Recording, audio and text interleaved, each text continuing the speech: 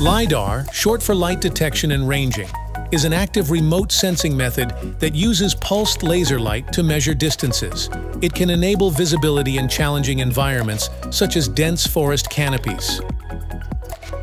Capable of generating high-resolution digital elevation models with a vertical accuracy reaching up to 1 centimeter, LiDAR finds significant utility in surveying by facilitating laser scanning and generating detailed 3D point clouds.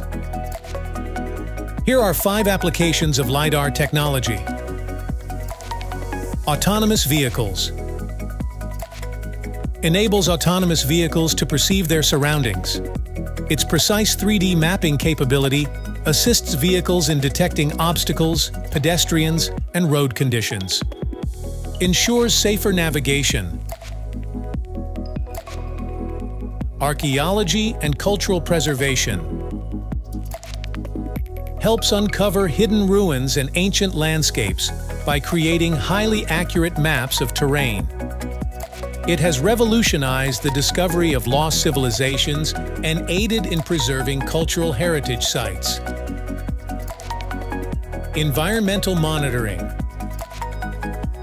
Its ability to penetrate dense vegetation makes it invaluable for environmental mapping.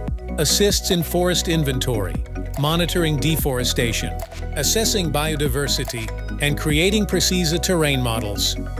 Contributes significantly to conservation efforts.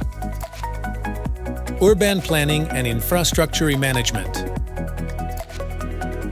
Its data is utilized for city modeling, managing infrastructure, and assessing flood risks. Its high-resolution maps assist in optimizing city layouts, evaluating infrastructure conditions, and planning for sustainable development. Precision agriculture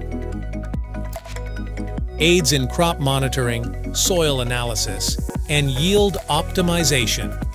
Provides detailed data on topography and vegetation health, which enables farmers to make informed decisions for efficient and sustainable farming practices. From revolutionizing transportation to preserving history and aiding environmental efforts, LiDAR's versatility continues to unlock new possibilities across various industries, promising a future of innovation and advancement.